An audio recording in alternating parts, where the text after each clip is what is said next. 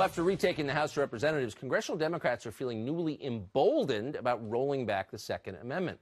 Earlier this year, California Democrat Eric Swalwell called for confiscating all so called assault weapons, scary looking rifles, and bringing criminal charges against anyone who resisted. We're not misquoting that.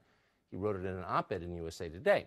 Then, just days ago on Twitter, one critic said this would provoke armed resistance against the government because obviously it would. Swalwell responded this way, quote, it would be a short war, my friend. The government has nukes. In other words, obey or we'll kill you.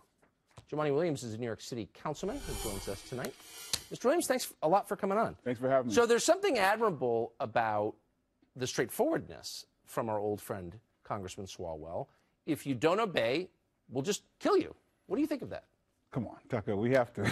we all have to get to a place where we can have a conversation about what's happening in this country. Yeah. And have a respectable one. So. Do you think threatening people with violence is a good way to get to that? no, place? I don't think that's the good way to have a conversation. Nor do I think uh, having a conversation about guns not being part of the problem is a good way to have the conversation. So well, we should I'm, we should start with guns are a part of the problem and figure out how to deal with it. Okay, but when a sitting U.S. and by the way, we've at, we know Swalwell very well. Sure. I personally like him. We asked him to come on to respond directly. Um, I should say that. But when a sitting U.S. congressman says, you know, if you just don't, if you don't like it, if you're going to resist in any way, we'll just drop nuclear, your nuclear weapons on you. We don't even threaten our our martial enemies with that. I mean, that's a bit much, no? Well, first, I was remiss, you know, prayers and peace of comfort for the victims of the Chicago mass shooting. Uh, but like uh, the mother of a victim that happened in California who said she was tired of uh, prayers, she wanted action. We have to have actionable items. And so I don't consider nukes on people who have guns an actionable item. But there are actionable items. And so you are the moderate for the first time. I don't know about I'm the moderate. Well, you're against killing American citizens, so that, if so that that's a moderate, in, that puts you in the moderate category. So let me just ask you this. So here's my confusion. I have no problem trying to disarm people who are threatening. The problem I have with gun confiscation is that it punishes people like me who pose no threat at all, and many millions of other Americans have no criminal record, no intent to harm anybody, want guns for self-defense, and it says to them, "You're a criminal now because you have a but gun that we think you have scary. jumped to confiscation. Well, but no, Eric Swalwell, who's on, who's a member of the Intel Committee, but, but, we should have member. a conversation about one: is there an issue with guns in this country, and what do we do with that? And the okay. actionable items are quite clear.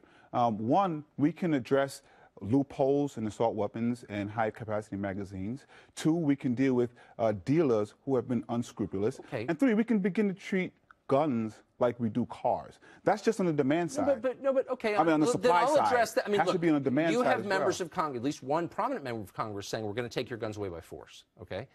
So apparently you're not calling for that, though. We both know you're secretly for that. But would, we don't both know that, but okay. Okay, but I believe you're. I believe you're for that. I believe you can believe what you like. I'm here to have a discussion. Are you for that on the issue? No. Listen, Good. let's have a. We should have a discussion. Okay, then let, us talk about magazines. Sure. You say high capacity. I think it means any more than 10 mm-hmm. I if I have a magazine that has 15 round capacity, why is that a threat to anyone? We have to start with, and I'm repeating this again, with everyone agreeing that guns and the access to guns are an issue. Well, how this about this? I don't agree with that. You do not. I think a gun is a tool, and in Sure. the hands, like any tool, in the hands of someone with malintent, it's very dangerous. So I will don't have this. malintent. So would I be forced to give up any magazines that I had that exceeded? I will, I will say this: if, if a hammer killed 33,000 Americans every single year, we would be screaming and yelling, "Let's regulate hammers." Guns are only made for killing. What I'm saying is, let's at least treat guns how we treat But vehicles. you're speaking theoretically, I and I want not. to speak I'm tangibly. speaking specifically. So there are millions upon millions of so-called high-capacity magazines out there. They're in circulation, tens of millions of them. What do we do with those? So I mentioned three things. I mentioned dealing with the high capacity magazines and the assault weapons. I mentioned the loopholes of gun Let's just stick dealers. with the magazines. But I mentioned also treating uh, guns like we treat vehicles. That's just on the supply side. Okay, but uh, I'm sorry, to, I'm sorry to press you for specifics, Sure. but since this is what you do, let me Yeah. let me press you. There are tens of millions of magazines that fit more than 10 rounds in circulation.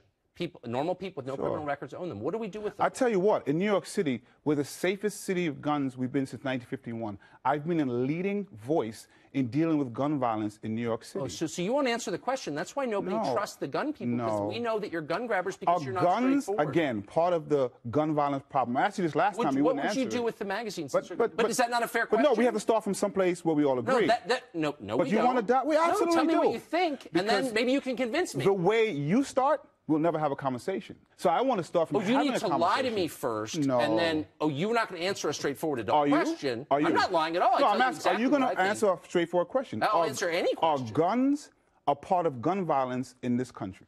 Well, of course, they're the tool that is used very often to commit So violence. we have to start from that point. Finally, that's fine. Thank you So for agreeing. I have- Thank you for agreeing. If I have a high capacity magazine in my possession, your your definition of high capacity, and I don't want to give it up, will you take it from me? So let's take that one off the table. Why? What about the other two? Wait, why- why are we Because you that like to stick on the one that will I prevent like to- the I like to ask very forward. simple, factual no, questions I mentioned and three see if you're things. straightforward I mentioned three them. things, and so the way this happens in government, people present things, But why won't and we figure out that? because you want to get to a point where people will reject any conversation about dealing with guns. But I think all of our I want to get to where a you point. stand. No, the they don't. is, of course, I'm going to take it from you and No, they you don't. if you don't give it to the, me. The, the fact of the matter is, we own, we have less than five percent of the population, and we own over half of civilian guns Okay. and 30 percent of mass shootings. But thank you for agreeing that guns are a part of gun violent problems in America. Next time we have a conversation, I we can get to the always fix. say what I think. In, in contrast to you, I will say.